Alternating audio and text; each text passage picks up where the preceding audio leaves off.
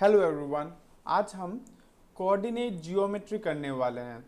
अब ये जो कोऑर्डिनेट जियोमेट्री है एक्चुअली ये वास टॉपिक है, लेकिन क्लास टेन के लिए कोऑर्डिनेट जियोमेट्री कहलाएगा और वहाँ पर हमें बस टू डी तक ही पढ़ना है। लेकिन जब हम जाएँगे क्लास 11 में, तब हमें ये थ्री डी तक पढ़ना पड़ेगा। तो एक्चुअली क्लास 11 में जब लिखा जाता है, उसको चैप्टर नाम लिखा गया है three D geometry, three dimensional geometry. लेकिन ये जो थ्री डायमेंशनल जियोमेट्री है, ये कोऑर्डिनेट जियोमेट्री का ही पार्ट है। तो आप को रिलेट कर पाओगे, क्लास टेन का जो coordinate geometry and class eleven का coordinate geometry that is three D. Clear तो ये एक जो टॉपिक है, क्लास टेन को भी कवर कर रहा है, क्लास इलेवन को भी कवर कर रहा है। अब दोनों के लिए ये वीडियो चल सकता है। अब देखिए स्टार्टिंग करते हैं हम कोऑर्डिनेट जियोमेट्री में। हम सबसे पहले वन डी से स्टार्ट करते हैं। One D means one dimensional one dimensional का बात करते हैं तो वहाँ पर एक ही एक्सिस का बात हो रहा है। एक ही एक्सिस मतलब मैं ऐसा बना देता हूँ। देखिए, एक ही डायरेक्शन पे चल रहा है वन डी है ना? वन डी ऐसा भी कह सकते हैं हम लोग। एक ही डायरेक्शन पे जा रहा है। तो जहाँ पर एक ही एक्सिस यूज़ हो रहा है उसको हम क्या बोलते हैं? वन डी वन डायमेंशनल अब हम जाते हैं सेकेंड टू डी में.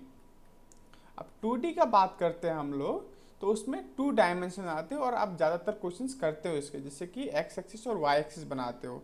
तो ये हो गया आपका एक्स एक्सिस और ये हो गया आपका वाई एक्सिस और ये कंपलसरी नहीं है कि इसी को एक्स एक्सिस और इसी को वाई एक्सिस बोलना। आप इसको भी बोल सकते हो इसको भी वाई एक्सिस बोल सकते हो और इसको भी आप एक्स एक्सिस बोल सकते हो। बस आपको पहले यहाँ पर डिफाइन करना पड़ेगा कि आप किसको क्या बोल रहे हो। क्योंकि आप जो एक्सिस बना रहे हो उसको आगे बस लिख देना पड़ेगा आप उसको कौन सा एक्सिस ट्रेट कर रहे हो है ना? सो so, ये हो गया। अब बहुत बच्चों के दिमाग में आता है कि क्या सर टू में बस एक्स एक्सिस और वाई एक्सिस होता है? एक्चुअली टू में दो डायमेंशन होने चाहिए दो एक्सिस होने चाहिए। कोई फ़र्क नहीं पड़ता कि उसका नाम क्या है। तो हमारे पास एक्चुअली तीन ही नाम यूज़ करते हैं हम लोग x axis y axis and z axis so two D की बात में अगर एक्स एक्सिस और वाई एक्सिस लिख रहे हैं, हम इसको ऐसे भी बना सकते हैं। इसको हमने बना दिया आप वाई एक्सिस और इसको बना दिया हमने जेड एक्सिस उसी तरह अगर आप बोलें, सर, हम ऐसा बनाना चाहेंगे तो क्या होगा? यहाँ पर हम लिख देंगे कि ये हो जाएगा आपका जेड एक्सिस और ये हो जाएगा आपका वाई एक्सिस तो हम देख सकते हैं कि हमें कौन सा एक्सिस यूज़ करना है। तो कोई कंपलसरी नहीं होता कि आ, इसको ही एक्स एक्सिस मानना है हॉरिजेंटल को एक्स एक्सिस मानना है ऐसा कुछ नहीं। वर्टिकल को ही वाई एक्सिस मानना है ऐसा कुछ है नहीं। तो आप देख सकते हो जैसे कि मैंने एक्स एक्सिस वाई एक्सिस का एक प्लेन बना रखा है वाई एक्सिस और जेड एक्सिस का बना रखा है उसी तरह हम जेड एक्सिस और एक्स एक्सिस का भी बना सकते हैं। तो अगर मैं इसको मैं एक्स एक्सिस और इसको मैं जेड एक्सिस मानता हूँ तो मैं इसको एक्स एक्सिस और इसको जेड एक्सिस भी मान सकता हूँ। तो ये यहाँ पर ध्यान देना पड़ता है। अब वापस आते हैं वन में। तो वन में देखिए हमने खाली एक ही एक्सिस बना रखा है। तो आप इसको एक्स एक्सिस बोल सकते हो। और इसी को आप चेंज करके आप वाई एक्सिस भी बना सकते हो। आप चाहते हो इसको वाई एक्सिस बनाना तो आप बस वाई एक्सिस लिख देना। है ना? तो आपके ऊपर डिपेंड करता आप करना क्या चाहते हो। अब हम करते हैं बात थ्री का। थ्री डी जियोमेट्री इस थ्री डी जियोमेट्री में हम क्या करते हैं? हमारे पास यहाँ पर तीन एक्सिस आते हैं। X axis y axis and z axis है ना? तो हम क्या करते हैं? पहले एक्स एक्सिस बना लिया, फिर वाई एक्सिस बना दिया, फिर हम क्या बनाते हैं? जेड एक्सिस तो इसको हमने एक्स एक्सिस मान लिया, इसको वाई एक्सिस मान लिया और इसको हमने क्या मान लिया? जेड एक्सिस है ना?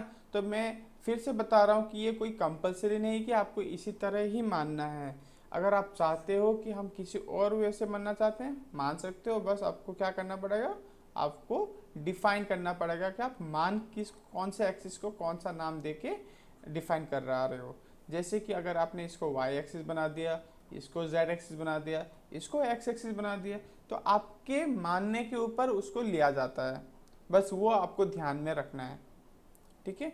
सो हम जब भी हम इसको काम करते हैं तो हमें बस ये याद रखना पड़ता है कि हम सबसे पहले ये जो हॉरिजेंटल लाइन है, उसको हम मानते हैं, फिर उसके बाद वर्टिकल को, फिर उसके बाद ये जो आपके, आप देखोगे एक्चुअली ये थ्री जो हम टू में बना रहे हैं, इसलिए आपको ये थोड़ा सा टू फिगर ही लगेगा, क्योंकि हम टू डी पे थ्री डी नहीं बना सकते।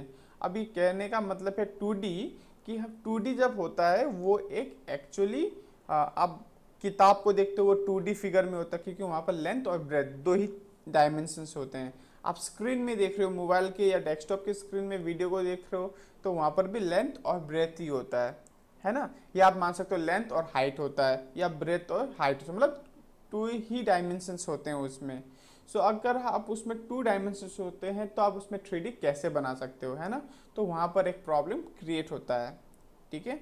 तो आप अपने हाथ को वो जो अपने क्लास टेन में लेफ़्ट थम रूल जो है वो आप फॉर्मूला यूज़ करोगे तो आपको वहाँ पर दिख जाएगा। आप वैसे बनाते हो अपने हाथों को तो आपको वहाँ पर दिख जाएगा कि एक जो है आपके वर्टिकल लाइन होगा, एक हॉर्जेंटल लाइन होगा, दूसरा जो लाइन होगा, वो एक एक्चुअली आर पार कर रहा है मतलब आपके उसके। तो एक्चुअली म्यूचुअली 90 डिग्री होते हैं एक दूसरे से। अगर एक्स एक्सिस और जेड एक्सिस की बात करें, दोनों में एंगल कितना का फ़र्क होता है? 90 डिग्री अगर एक्स एक्सिस और वाई एक्सिस का बात करें तो 90 डिग्री और वाई एक्सिस और जेड एक्सिस का बात करें, तब भी 90 डिग्री तो तीन लाइन ऐसे लगे हुए हैं जो एक दूसरे से 90 डिग्री पे लाई कर रहे हैं। मतलब एक दूसरे से पर म्यूचुअली परपेंडिकुलर है तीनों लाइन है ना? सो so, ये तो हो गया इसकी। आप इसको आप और एक तरीके के एग्ज़ाम्पल ले सकते हो जो आपके रूम होते हैं वो नॉर्मली जो रूम होते हैं वैसे कोई अगर कोई सर्कुलर टाइप का में रहता है तो मुझे नहीं पता। नॉर्मली जो रूम होते हैं वहाँ पर एक हाइट होता है एक लेंथ होता है एक ब्रेथ होता है। तो उसी को आप थ्री समझ सकते हो। तो आपके पॉइंट जो है स्पेस में लाई करेगा तो वो थ्री डायमेंशन की वैल्यू हम दे सकते हैं। एक्स एक्सिस का भी वैल्यू दे सकते हैं वाई एक्सिस का भी दे सकते हैं और जेड एक्सिस का भी हम दे सकते हैं इसको। है ना?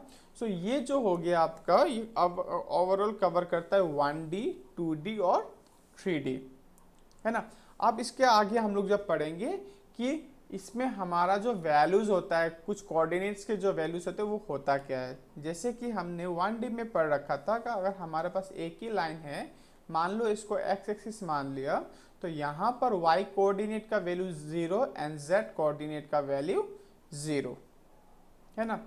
यहाँ पर अगर मैं मान रहा हूँ, ऐसे और एक लाइन माना, बना रहा हूँ, उसको मैं वाई एक्सिस मानता हूँ तो अगर मैंने वाई एक्सिस मान रखा है तो यहाँ पर आपका एक्स का वैल्यू ज़ीरो हो जाता है और जेड का वैल्यू ज़ीरो हो जाता है।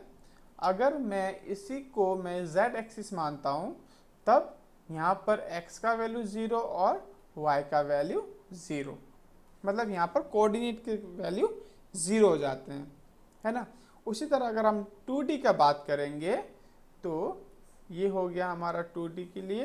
ये हो गया एक्स एक्सिस और ये हो गया आपका वाई एक्सिस सो हमें पता है एक्स में वाई के वैल्यू ज़ीरो होते हैं और जेड के वैल्यू ज़ीरो होते हैं.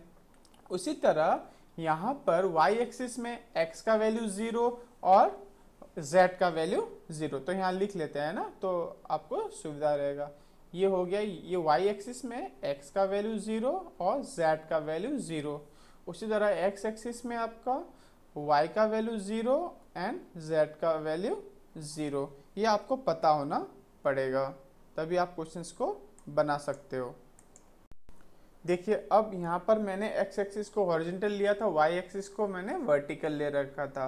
तो यहाँ पर आपको दिखाई दे रहा है कि मैंने वाई एक्सिस को वहाँ पर लिखा हुआ है x equal to zero z equal to zero और एक्स एक्सिस में y equal to zero z equal to zero है ना?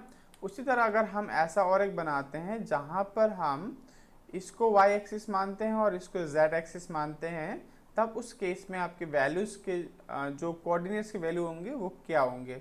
देखिए, अगर ये z एक्सिस है तो यहाँ पर x का वैल्यू ज़ीरो और y का वैल्यू ज़ीरो और ये y एक्सिस है तो यहाँ पर x का वैल्यू ज़ीरो और z का वैल्यू ज़ीरो तो आपको समझ आ ही गया होगा कि कोई भी एक्सिस के बात कर रहे हैं तो उसको छोड़ के बाकियों का वैल्यू क्या हो जाता है? ज़ीरो हो जाता है। है ना? सो so, अब यहाँ पर आपको और एक चीज़ करना है। देखिए मैंने यहाँ पर x और y लिख रखा है तो इसको हम क्या बोलते हैं? इसको बोलते हैं हम लोग एक्स वाई प्लेन क्योंकि प्लेन मतलब टू डी फिगर ठीक है? यहाँ पर हमने जेड वाई ले रखा है तो हम इसको क्या बोलेंगे? जेड वाई या वाई जेड प्लेन है ना? और मैं वाई जेड क्यों लिख रहा हूँ? क्योंकि हम सबसे पहले ये वाले कोऑर्डिनेट्स को लिखते हैं फिर उसके बाद इस वाले कोऑर्डिनेट में जाते हैं। उसी तरह यहाँ पर हमने पहले इस कोऑर्डिनेट को, फिर इस कोऑर्डिनेट को। वैसे आप वाई एक्स प्लेन बोलोगे वो गलत नहीं होगा, लेकिन आप लिख सकते हो। लेकिन सबसे पहले हम ट्राई करते हैं कि इसको लिखने के लिए ऑर्डर मेंटेन करना सही रहता है, क्योंकि इससे हमें गलती होने का चांसेस कम रहते हैं। यूनिवर्सली इसको पहले लिखा जाता है, फिर इसको लिखा जाता है। जो यूनिवर्सल लिखा जाता है, उससे क्या फ़ायदा रहता है? किताब में जो भी पॉइंट्स होंगे तो उसको हम उसी ऑर्डर में पढ़ सकते हैं। तो आपको यहाँ समझ आ गया होगा कि कभी इस प्लेन में, कभी x का ज़ीरो है, कभी y का ज़ीरो है कभी कभी चेंज हो जाता है, लेकिन z का वैल्यू दोनों ही केस में सेम है। मतलब एक्स वाई प्लेन में x का वैल्यू y का वैल्यू कुछ भी हो सकता है, लेकिन z का वैल्यू क्या होगा? हमेशा ज़ीरो ये बात आपको याद रखना पड़ेगा कि अगर x, y प्लेन का बात कर रहे हैं तो z का वैल्यू हमेशा ज़ीरो होगा। उसी तरह, देखिए यहाँ पर, कभी आपका पाई का वैल्यू ज़ीरो कभी जेड का वैल्यू ज़ीरो लेकिन एक्स का वैल्यू तो हमेशा ही ज़ीरो है। That means y z plane में वाई जेड प्लेन का बात करें तो वहाँ पर एक्स का वैल्यू हमेशा क्या होता है? ज़ीरो होता है। उसी तरह अगर हम बात करें और एक प्लेन के बारे में दैट इज़ एक्स और जेड प्लेन है ना? तो हमें पता है एक्स जेड प्लेन में क्या होता है?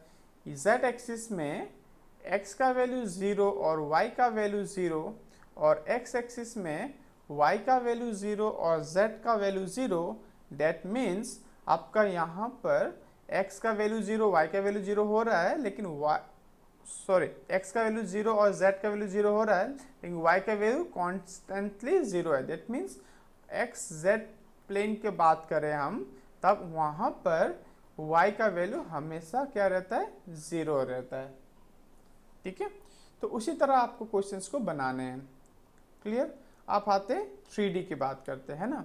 थ्री डी में आप देखोगे एक्स एक्सिस वाई एक्सिस और क्या है? जेड एक्सिस ठीक है? तो हमें क्या करना है कि यहाँ पर किसी पर्टिकुलर देखिए आप जेड एक्सिस की बात करेंगे जेड एक्सिस की बात करेंगे तो जेड एक्सिस में वाई का वैल्यू ज़ीरो और एक्स का वैल्यू ज़ीरो एक्स एक्सिस में y का वैल्यू ज़ीरो और z का वैल्यू ज़ीरो और y एक्सिस में x का वैल्यू ज़ीरो और z का वैल्यू ज़ीरो है ना? लेकिन पर्टिकुलर कोई किसी का वैल्यू ज़ीरो होगा, ऐसा कुछ है नहीं। कहीं ना कहीं पर किसी ना किसी वैल्यू का नॉन ज़ीरो रहेगा, क्योंकि वो थ्री डी पे लाई कर रहा है है ना? हम किसी भी डायरेक्टली स्पेस में हम किसी को नहीं बोल सकते, वो पॉइंट्स क्या होगा? ज़ीरो वो कभी नहीं होगा अनलेस इट इज़ ओरिजिन तो ओरिजिन पे तो zero comma zero comma zero हर एक वैल्यू ज़ीरो ही होने वाला है। अब टू डी की बात करते हैं, तब हमारे पास क्या होता है कि यहाँ पर एक्स एक्सिस और वाई एक्सिस मान के चलते हैं अभी, क्योंकि आपको पता लग गया कि हम इसको जेड एक्सिस भी लिख सकते हैं।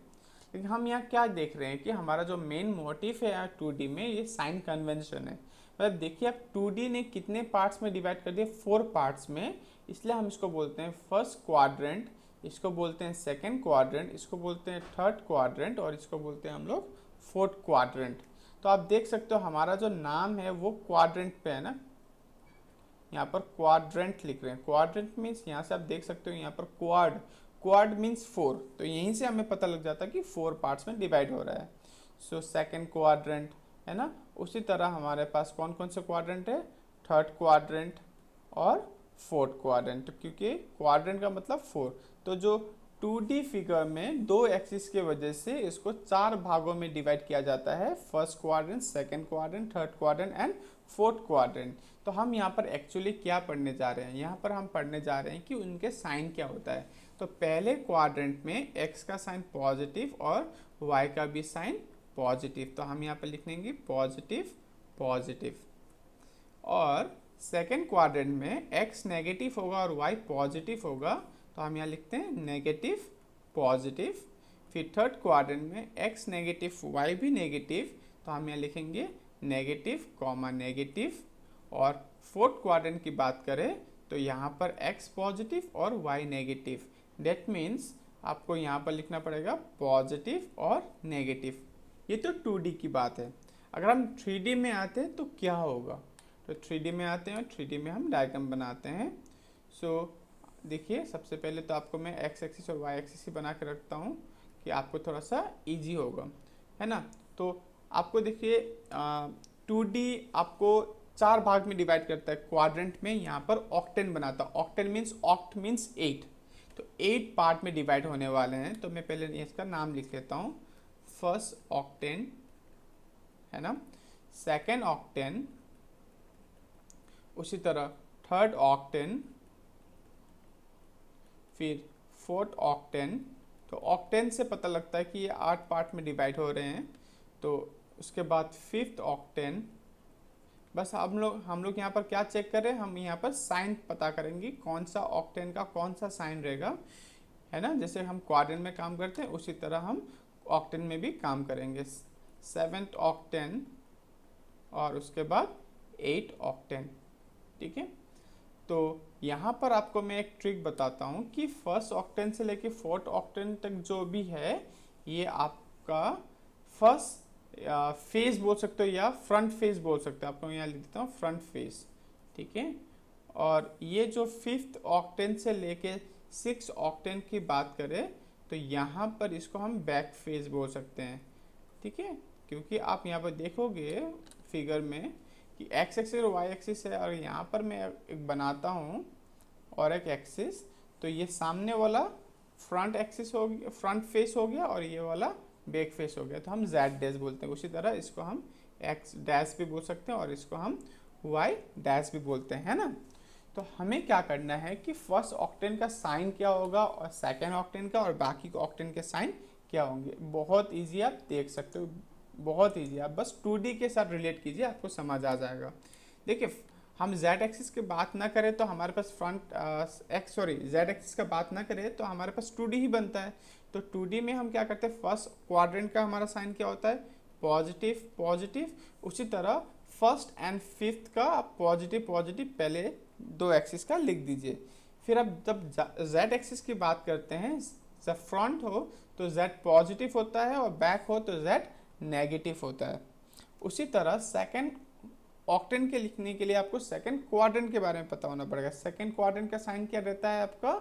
नेगेटिव पॉजिटिव तो जैसे ही सेकेंड उसी तरह सिक्स तो उसका भी नेगेटिव पॉजिटिव तो फ्रंट फेस है तो पॉजिटिव बैक फेस है तो नेगेटिव उसी तरह थर्ड ऑक्टेन के लिखने के लिए आपको थर्ड क्वाड्रेंट के बारे में पता होना पड़ेगा। दैट इज़ नेगेटिव नेगेटिव और सेवेंथ का भी नेगेटिव नेगेटिव तो अब यहाँ पर आपको पॉजिटिव लगाना पड़ेगा और यहाँ पर आपको नेगेटिव लगाना पड़ेगा।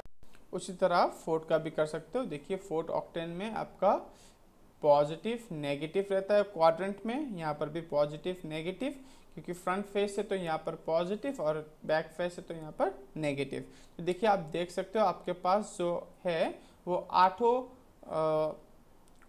ऑक्टेन के साइन आ चुके हैं। पहला octant positive positive positive second octant negative positive positive third octant negative negative positive and so on तो सारे ऑक्टेन्स के जो साइन कन्वेंशन है, हम इसको लिख चुके हैं। है ना? उसके बाद हम नया टॉपिक पढ़ेंगे, वो है distance formula so distance formula में होता क्या है? डिस्टेंस फार्मूला में आप देखोगे तो आपको बस यहाँ पर चेक करना है कि डिस्टेंस कैसे निकाला जाता है। तो एक कोऑर्डिनेट मैंने ले लिया एक्स वाई सेट तो मुझे और एक लेना पड़ेगा तो नाम फिर से सेम होने वाले तो मैं इसको क्या करता हूँ? X one y one z one और इसको ले लेता हूँ x two y two z two है ना? तो ये हो गया हमारे दो पॉइंट्स ए और बी सो so, हमें डिस्टेंस निकालना है ए और बी का. डिस्टेंस ऑफ़ ए बी तो उसका फॉर्मूला है square root of x two minus x one का होल का square plus y two minus y one का होल का square plus z two minus z one का होल का स्क्वायर है ना? सो ये जो फॉर्मूला है, दोनों क्लासेस क्लास टेन और क्लास इलेवन के लिए काम करेगा, क्योंकि हमें पता है 2D में z एक्सिस नहीं रहता है। z एक्सिस का वैल्यू क्या होता है? ज़ीरो होता है। तो हमें यहाँ पर तो ये रोल प्ले ही नहीं करेगा, आपको दिखेगा ही नहीं। आपको बस x एक्सिस और y एक्सिस ही नज़र आएगा। और क्लास 11 की बात करें तो यहाँ पर आपको जेड एक्सिस भी दिखाई देगा। है ना? तो नॉर्मल सी बात है। तो इजीली हम क्वेश्चन को सॉल्व करते हैं। सपोज़ एक एग्जांपल लेते हैं। क्लास टेन के लेवल के लिए ए और बी पॉइंट है हमारे पास और हमने ले रखा वन कॉमा टू और यहाँ ले लेता है फोर कॉमा फाइव तो ए बी का जो वैल्यू है वो निकालना चाहें हम तो four minus one four minus one का होल का square plus five minus two का होल का स्क्वायर तो four minus one is three का square is nine plus five minus two is three three का स्क्वायर नाइन तो ये हो जाएगा रूट ओवर एटीन तो अगर आप यहाँ से कुछ वैल्यूज़ निकाल सकते हो तो आप देख लीजिएगा इसको आप रूट थ्री रूट टू कर सकते हो. और यूनिट लिखना मत भूलिएगा क्योंकि आप डिस्टेंस निकाल रहे हो. आपको यूनिट नहीं पता सेंटीमीटर हो या मीटर हो या कौन सा किलोमीटर हो है ना? तो आपको यहाँ पर यूनिट लिखना पड़ता है. सो so, ये तो 2D में आपको एक्स एक्सिस और वाई एक्सिस लिखा गया है.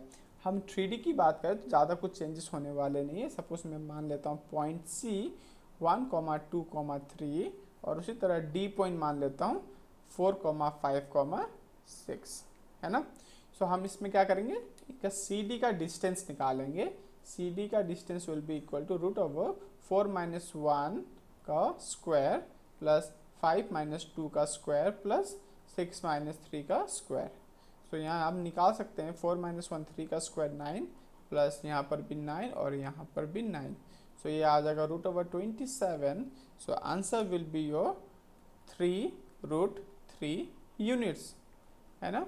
सो so, ये हो गया आपका आंसर अब आते हैं हम सेक्शन फार्मूला इसमें क्या करते हैं कि हमारे पास कुछ पॉइंट्स दिया जाता है और हमें देखना होता है कि कौन से पॉइंट किस रेशियो में डिवाइड करते हैं, किसी पॉइंट्स को? आप समझ आएगा, आप जब क्वेश्चन करोगे। तो 2D की बात करें तो हमारे पास यहाँ पर पॉइंट्स लिखा होता है एक्स एक्सिस और वाई एक्सिस के तौर पे। तो यहाँ पर एक्स वन और वाई वन उसी तरह यहाँ पर एक्स टू और वाई टू तो इसको मैंने मान लिया ए इसको मान लिया बी सो यहाँ पर मैं मान लेता हूँ एक पॉइंट सी जो इसको m is to n ratio में डिवाइड कर रहा है। तो इसका हो गया एक्स कॉमा वाई है ना? सो so, हमारे पास यहाँ एक्स एक्सिस और वाई एक्सिस है तो यहाँ पर कॉमा दे देते हैं सो so दैट हम डिफ्रेंशिएट कर पाएँगे एक्सिस में। सो so, यहाँ पर M is to N ratio दे रखा है ठीक है और इंटरनली हो रखा है। यहाँ पर ध्यान दीजिए ये जो पॉइंट सी है ये दो ए और बी का इंटरनल कहीं पॉइंट है। तो ये एग्जैक्टली exactly बीच में ऐसा कुछ नहीं है आप कहीं पर भी लिख सकते हो तो उसी तरह एम इस टू एन का वैल्यू चेंज हो जाएगा। तो हम सी कोऑर्डिनेट का जो वैल्यू है एक्स और वाई का कैसे निकालेंगे? देखिए एक्स को यहाँ पर लिखा, फिर हम क्या करेंगे?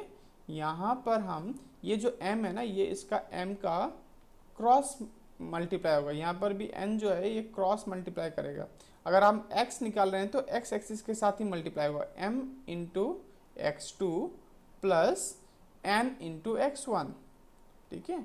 Divided by m plus n अगर हम y एक्सिस का निकालना चाहेंगे तो y इक्वल टू फिर उसी तरह क्रॉस m का इसके साथ m into y two plus n into y one whole divided by m plus n तो क्लास टेन में तो बस हम यहाँ तक ही पढ़ते हैं। हमारे पास इंटरनली रहता है एक्सटर्नल रहता नहीं है। अगर हम बात करें थ्री में तो इसमें क्या हो जाएगा? सपोज़ मेरे पास यहाँ पर ए है और यहाँ पर पॉइंट बी है। और इसको हम मान लेते हैं x one y one z one और कॉमा दे देते हैं। और यहाँ पर x two y two z two और यहाँ पर कॉमा दे देते हैं। और यहाँ पर एक पॉइंट ले लेते हैं। मानो यहाँ पर है सी और इसका x comma y comma z और इसको m is to n ratio में डिवाइड कर रखा है। तो सिमिलर वे में हम इसको निकालेंगे। आप देख सकते हो इंटरनली डिवाइड हो रखा है। तो एक्स को कैसे निकालेंगे? M into x two plus n into x one by m plus n. तो मैंने आपको बोल रखा है, यहाँ पर क्या होने वाला है? क्रॉस मल्टीप्लाई होने वाला है। अगर आप एम को इसी के साथ मल्टीप्लाई कर दोगे तो गलत हो जाएगा आपका आंसर।